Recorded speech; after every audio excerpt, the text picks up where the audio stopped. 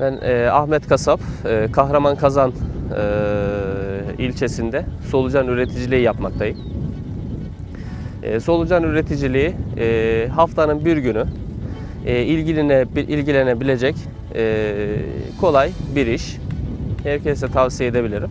E, solucanlara e, haftanın bir günü separatörden çıkmış e, büyükbaş hayvan gübresi veriyoruz.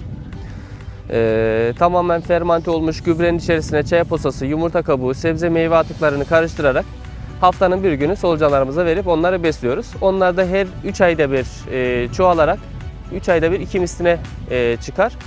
E, 6 ay içerisinde de gübre oluşmaya başlar. E, iyi bir verimli gübrenin oluşabilmesi için 6 ay aradan geçmesi lazım. Daha çok solucan gübresini seracılar, e, hobi bahçesinde üretim yapan, şahsi üretim yapan insanlar, e, çiçek üreticileri, ağaç üreticileri, e, pazar payı yüksek olan e, sebze ve meyve üreticileri e, solucan gübresini kullanmaktalar. E, çok fazla da talep var solucan gübresine.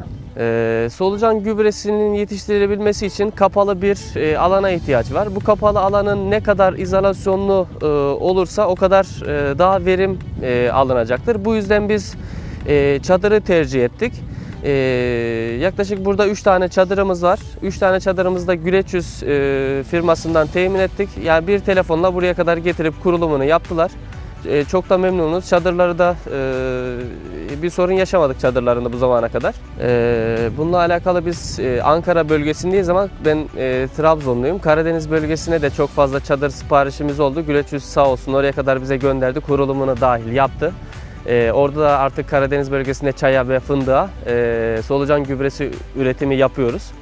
Ee, sadece Karadeniz bölgesi değil, Ege bölgesi, Akdeniz bölgesinde de kurulumlarımız oldu Güleçüz'le beraber. Ee, o taraflarda da çadır kurulumu yaptık. Ee, Güleç Yüz'ün yıllardır bize vermiş olduğu hizmetten çok memnunuz. Bundan sonraki e, yaşantımızda da yine Güleç Yüz'le çalışmaya devam edeceğiz. Güleç Yüz ailesine e, teşekkürler.